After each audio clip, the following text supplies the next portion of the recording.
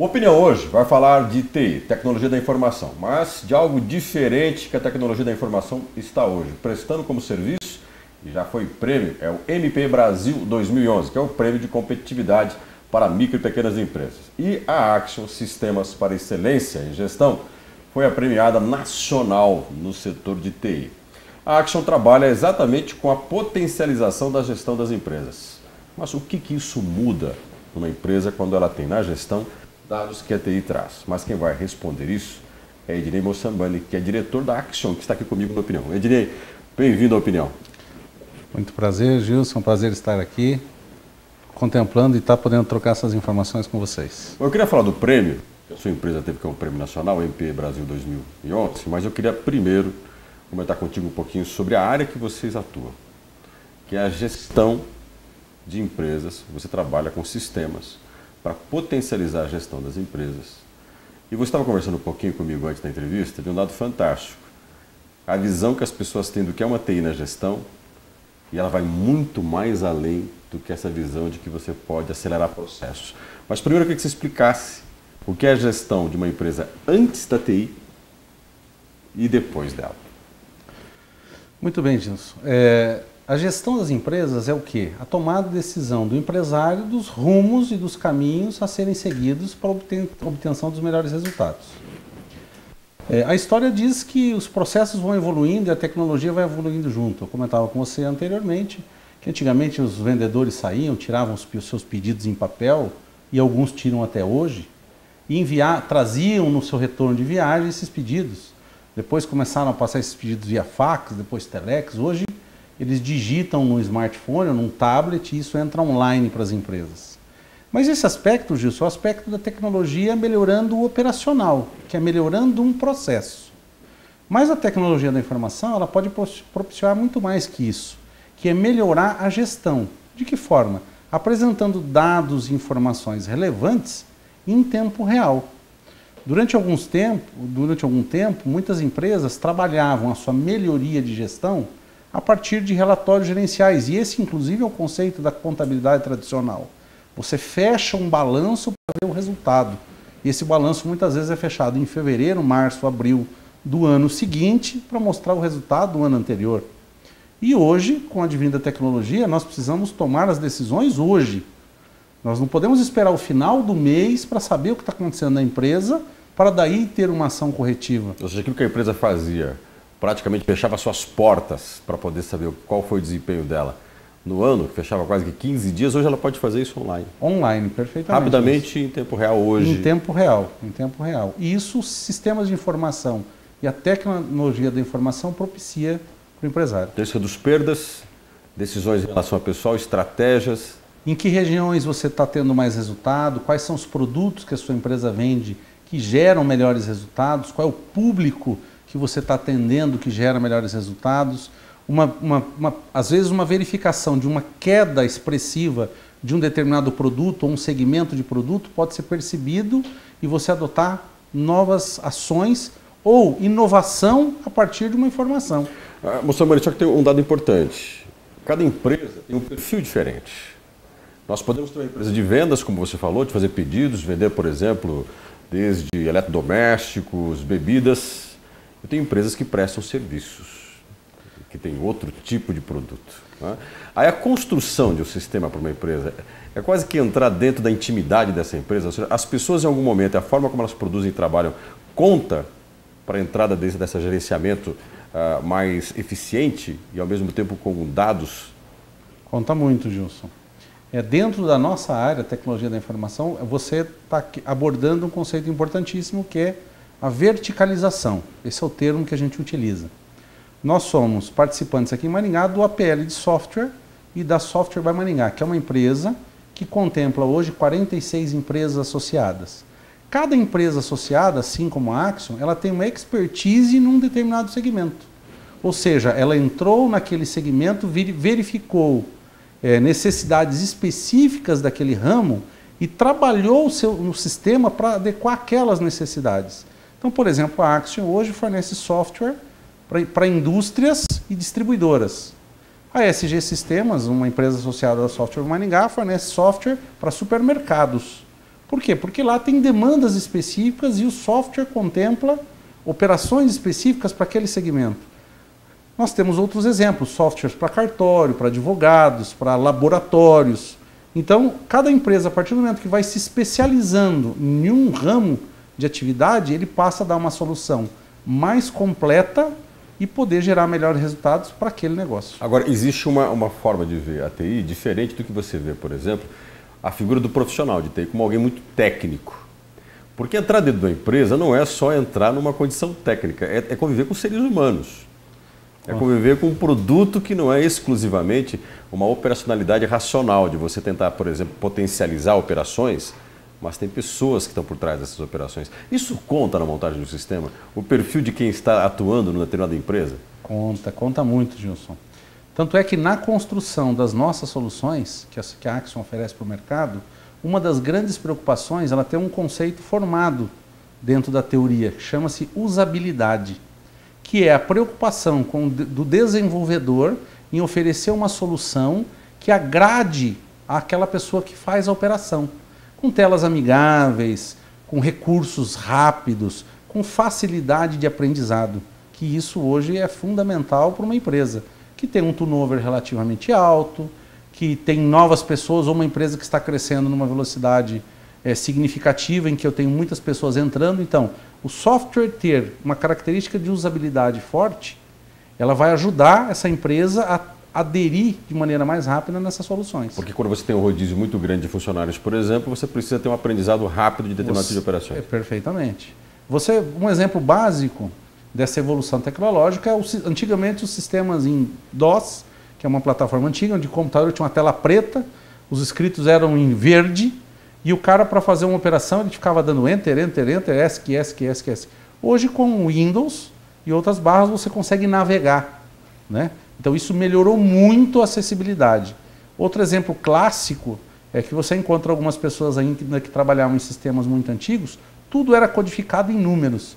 E você encontra até hoje pessoas que lembram os códigos dos produtos na década de 70, 80. Hoje não há mais a necessidade de se decorar códigos porque o sistema permite uma rastreabilidade ou um nível de navegação em que o usuário, qualquer usuário com muito pouca experiência, consegue acessar a informação em tempo real. Então nós, nós temos que levar em conta que boa parte das nossas condutas diárias, no nosso dia a dia, a facilidade de acesso, relação com informações, dentro de um caixa de um banco, dentro de um supermercado, dentro de uma livraria, a forma como a gente operaciona os nossos celulares. Por trás disso tem todo um sistema inteligente que faz o ser humano ter a ilusão de que a vida é simplesmente um toque em botões ou enters e você conseguir resolver problemas que antes eram complexos. É, é verdade. Por trás disso existe todo, toda uma inteligência. Toda uma inteligência, toda uma inteligência. Então a empresa de TI hoje ela trabalha com várias frentes. Uma delas são os desenvolvedores que ficam lá programando linhas de códigos para transformar o desejo em um algo real. Existe dentro da empresa uma função que é a função do analista, que é aquele profissional que busca com o cliente quais são as suas necessidades e expectativas e traz para o desenvolvimento, diz, olha, o ideal, o desejo do cliente é esse. E esse desejo, diria, essa é uma coisa interessante. O analista, com o programador. Tem alguém que traz o desejo, é como quem anota a pizza que você quer e fala assim, ó, me faz uma pizza portuguesa. Mas essa ideia de buscar essa necessidade é conhecer a pessoa. Eu tenho que trabalhar muito com a ideia do que, que os seres humanos vão desejar ou desejam. Quando eu penso, por exemplo, num produto sedentário. Eu tenho que pensar no que facilita o empresário, por exemplo, que coisas que talvez nem ele perceba que ele precisa. É nessa hora em que você tem que ter um profissional de TI, quando você pensa no analista, quase que um psicólogo, de tentar decifrar, às vezes, coisas que um gestor não vê na sua própria empresa? É, a função desse analista ele está muito ligada à capacidade de interpretação e comunicação. Porque nem todas as pessoas têm uma facilidade de transcrever no papel o que realmente deseja. É a dificuldade de pôr aquilo que está na cabeça no papel para que outra pessoa entenda. E isso demanda um, um relacionamento, uma atividade que é própria do, do setor. Você comentou aí dessa história de interpretar raciocínio, interpretar desejos, né? Nós temos hoje na indústria da tecnologia algumas indústrias focadas em soluções, em melhores soluções. Então nós temos empresas que buscam na TI soluções que já estão prontas. Então uma empresa que vai montar um negócio, uma indústria que já existe um segmento, muitas vezes ele procura uma empresa como a minha. Por quê? Porque como nós atendemos diversas empresas daquele segmento, na nossa solução já tem soluções para os problemas que aquela empresa está enfrentando. Então você tem algumas inteligências que são facilmente adaptáveis a problemas Exatamente. Presentes. Por outro lado, existem na indústria da tecnologia alguém desenvolvendo algo inovador. inovador né? Então nós temos essas duas frentes é, dentro da tecnologia da informação. Né? O foco principal das empresas hoje da região está em resolver problemas dentro dos segmentos, dentro das verticais, mas existe uma preocupação grande dessa equipe hoje, que está aí na, na Software by Maringá, de estar fomentando essa inteligência, essa criação, de estar criando soluções globais, inclusive. Eu já te perguntei isso numa outra entrevista que fizemos na CBN, inclusive acesse o site da CBN, www.cbnmaringá.com.br. Ali tem outras, outros conteúdos que nós conversamos com o Ednei no programa que vai ao ar na quarta-feira, foi ao ar na quarta-feira, Capital e Poder. E você vai ter mais informações sobre isso. Mas eu vou aproveitar e pegar um gancho dessa entrevista que nós tivemos, que é os empresários, você que trabalha diretamente com a gestão das empresas. Sim. Eles percebem esse potencial que a sua empresa pode ter dessa TI? Eles conseguem perceber a qualidade que a TI pode dar ao empreendimento que ele uh, tem e melhorar muitas vezes até os campos de atuação dele, ou seja, ele ter informações que possam dar à empresa dele uh, um horizonte muito maior do que ele vislumbra? É, Gilson, esse é um processo de evolução da cultura empresarial. Né? Nós estamos vivendo um momento favorável, porque nós estamos enfrentando algumas crises, o Brasil e o mundo, e isso provoca reflexão nos empresários. Toda vez que o empresário faz uma reflexão das suas práticas e dos seus resultados, isso facilita o entendimento que é preciso mudar. E esse entendimento de que é preciso mudar abre a oportunidade para que ele enxergue essas oportunidades. Né? É, os empresários de TI fazem um esforço é, para que essas soluções estejam evidentes a cada vez mais. Aí é um, um trabalho de marketing das empresas mesmo, de divulgar os seus resultados, divulgar o potencial dos resultados dos seus clientes para que outras empresas possam acessar essa, essa, essa tecnologia. A gente comentava na, na, na nossa última entrevista, ou conversando pessoalmente, que antigamente existia um conceito que as empresas entendiam, que o segredo era a alma do negócio. E a gente dizia que agora o entendimento é que a alma é o segredo do negócio. Ou seja, eu, acreditando que posso mudar, vou abrir para novas informações, novas tecnologias, buscando muitas vezes as práticas que um concorrente meu faz, para que eu possa melhorar ainda mais as minhas práticas, com foco sempre, sempre em resultado. Estou conversando com o Ednei Moçambani. Nós estamos falando com o diretor da Action, que trabalha com sistemas de gestão, com a empresa de TI. E nós vamos conversar no nosso próximo bloco sobre o que nós chamamos de APL de software. Nós temos aqui na nossa região uma quantidade imensa de empresas de software que são potenciais premiados regionalmente e também em âmbito nacional, como a própria Action. E vamos tentar entender o porquê que nós temos essas inteligências aqui e que às vezes não sabem o potencial que elas têm. Mas isso fica para o nosso próximo bloco, daqui a pouco a gente volta. Atenção! Arildo Veículos foi a primeira a oferecer taxa de 0,79. Foi a primeira a dar um seguro residencial. Agora sai na frente com uma promoção que vai abalar o comércio de veículos. Vai pagar as três primeiras parcelas para financiamento 100% na linha popular. Celta, Uno, Gol, Corsa ou Fiesta. Na compra na loja da Arildo Veículos. Só na loja Arildo Veículos da Avenida Paraná. Atenção, é só esta semana.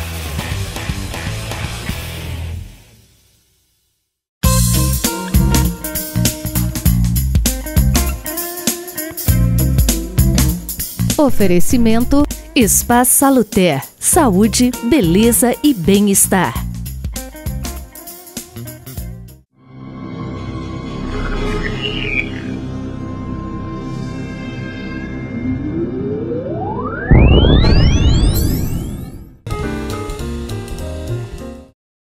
O Opinião está de volta. Meu entrevistado, Ednei Moçambani. Ele é diretor da Action. A Action é uma empresa de sistema para excelência em gestão. E a Action foi premiada no MP Brasil 2011 em TI. um prêmio para a competitividade para micro e pequenas empresas. A Action não é a única empresa da nossa região que é premiada, mas ela é a empresa que nós vamos falar um pouco sobre o prêmio. Uh, Ednei, sua empresa não é a única. Várias empresas de Maringá já tiveram prêmios na área de software. E parece Sim. que as coisas estão bem. Ou seja, pelo menos em prêmios, nós somos reconhecidos no Estado e nacionalmente como empresas competitivas. Por que se deve isso? Que empresas são essas que têm muito desempenho reconhecidas no setor, onde elas podem chegar e quanto elas podem fazer parte desse mundo que a gente conhece de sucesso que a gente tem na região? Elas um dia podem ser o grande negócio da nossa região? Com certeza, é, estamos trabalhando para que sejam, de fato, num futuro muito próximo, é, um dos maiores setores de Maringá, que representam Maringá para o Brasil e para o mundo. É, nós estamos, esse movimento é um movimento que iniciou-se em 1985, com o esforço de alguns empresários. A primeira onda de organização é, a nível de entidade se deu, não evoluiu muito. É, a partir de 2006, alguns empresários começaram a real, realmente fazer esse trabalho de associativismo, é, inspirados nesse grande trabalho voluntariado que é a cidade de Maringá, que é reconhecida nacionalmente com excelentes trabalhos de voluntariado. Nós firmamos em 2008 o conceito de APL de software, Arranjo Produtivo Local, e fundamos a Software by Maringá, que é uma associação que conta hoje com 46 empresas, que trabalham em prol do desenvolvimento das empresas e do setor em Maringá. É, esse trabalho ele culminou é, com uma ocupação dos espaços nas entidades por líderes que hoje empresários das empresas associadas. Hoje a Software by Maringá possui uma representatividade no CODEM, possui representatividade em outras instituições. Nós temos hoje acesso, porque a Associação das Empresas de Tecnologia no Paraná, presidida por um maringaense, o Sérgio Yamada, né, que coordena todo esse trabalho a nível estadual. E essa participação é, motiva a nossa busca em organizar o setor para que esse crescimento seja direcionado. Né? Crescer, todas as empresas almejam, mas um crescimento contínuo, um crescimento sustentável é a nossa base. É, nós participamos de diversos programas, o SEBRAE tem apoiado essa iniciativa sempre, as instituições, as, as, as academias, e nós temos conseguido, só no Prêmio MP Brasil, Maringá tem trazido para Maringá o prêmio estadual desde 2008. Desde 2008, desde empresas 2008, empresas são, são vencedoras estaduais. Né? Essa, essa entrega desse prêmio é feita em Curitiba.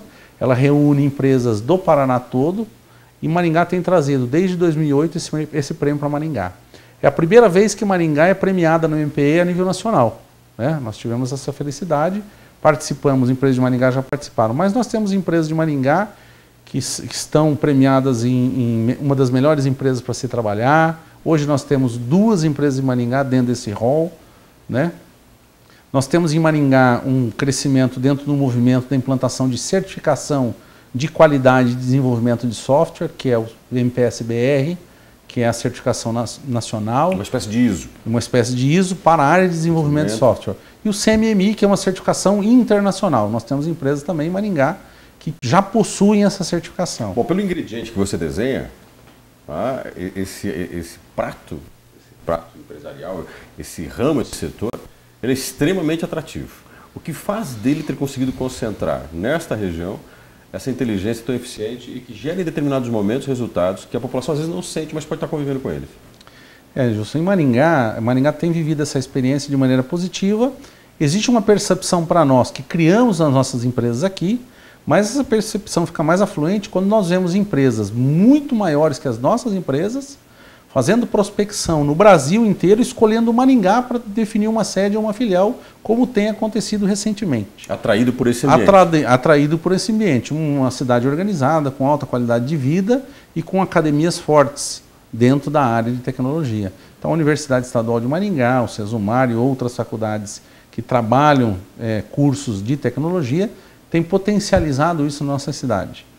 Fala-se muito é, dentro da, da, TI de São Paulo, Curitiba, muito mais São Paulo do que Curitiba, em valores é, salariais relativamente altos. Porém, há de se entender que o custo de vida de São Paulo também é alto e a qualidade de vida que nós temos em Maringá é algo fantástico. Então nós estamos aliando, aliando a qualidade de vida, que é excelente, com uma vocação de tecnologia e educação, que é propiciada por essa bela história que a Maringá nos traz, que canaliza esses esforços. Esses, todo esse conjunto, aliado a um esforço do empresário, do setor, para alavancar, não tem como ter um resultado diferente. James colocou as instituições de ensino, você citou inclusive duas delas e falou da, do potencial que elas produzem hoje de profissionais para esse setor de APL. Isso, isso é satisfatório? Não, existe hoje na parte de TI uma carência. Eh, como é que se relaciona hoje com a produção científica, com a produção tecnológica, num setor parece que bastante apetitoso? Gilson, esse setor ele está muito à frente do que a gente pode imaginar.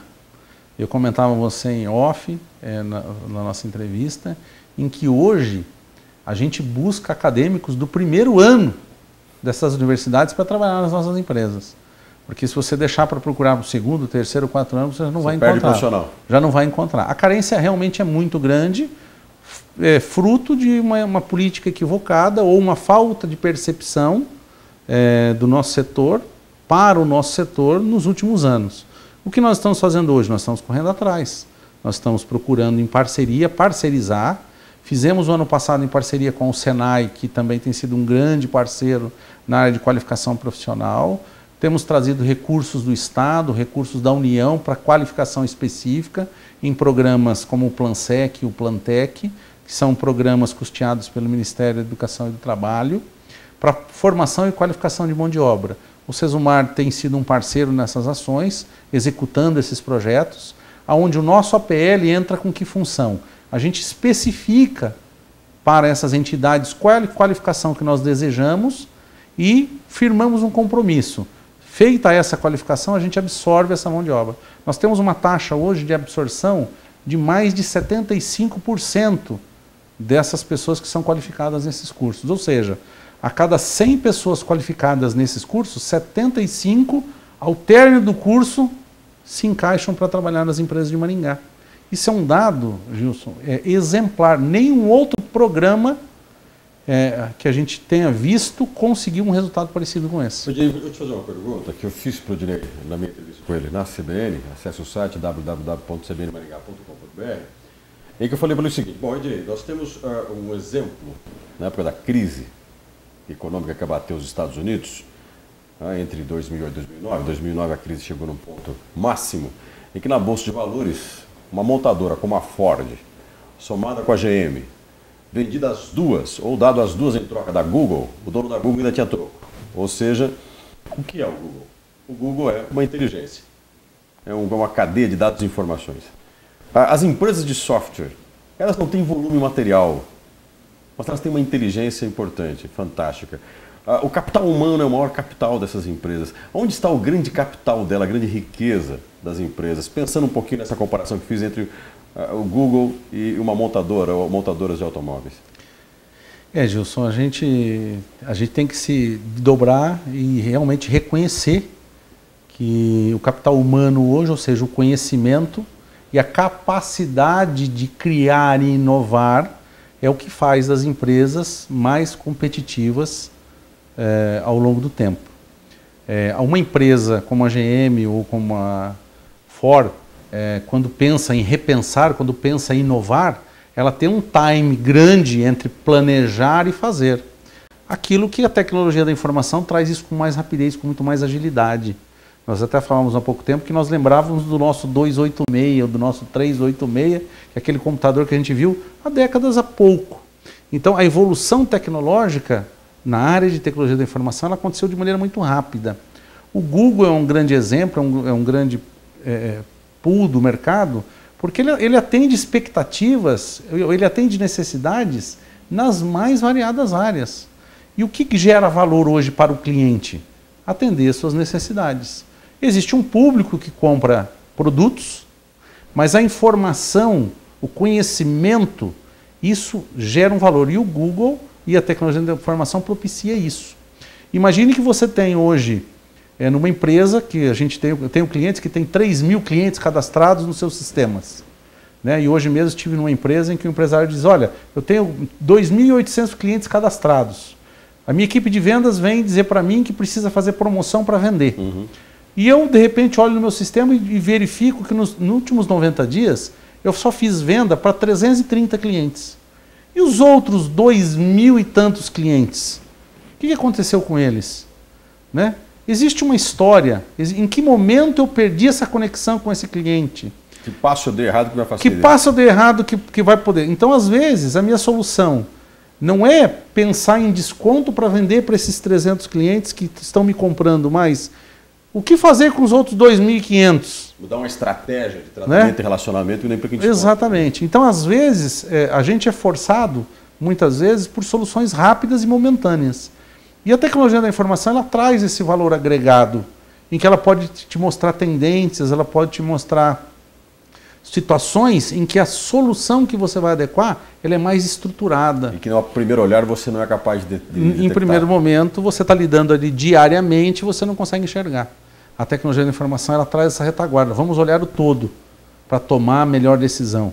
Não somente aquele pedacinho, aquela situação momentânea. Ou seja, ela pode te dar o diagnóstico de um passo que você acabou de dar e que você pode mudar de direção e não ter muito prejuízo continuando andando no caminho errado. Ou seja, você pode refazer rapidamente o seu caminho. Perfeitamente. Nós temos inúmeros casos, Wilson, em que o, a empresa valoriza determinado representante, determinado vendedor, porque ele vende muito. Mas quando ela faz análise da rentabilidade das vendas desse vendedor, ela verifica que o outro vendedor que vende um pouco menos é mais, traz mais rentabilidade para a empresa. Porque nem sempre o volume de vendas ou o valor das vendas se traduz em resultado. Resultado é um pedaço disso. Só que muitas empresas ainda enxergam o total da venda. Né? Como, por exemplo, o próprio estilo de para quem se vende e para quem se atende. Perfeitamente. Então, hoje, não, muitas vezes numa empresa não se importa o quanto você faz, mas sim qual é o resultado daquilo que você fez. Porque uma empresa, nós temos empresas de pequeno porte, de grande porte, que movimentam milhões de reais todos os meses. Mas o quanto disso é geração de valor dentro da empresa? Quanto fica para a empresa?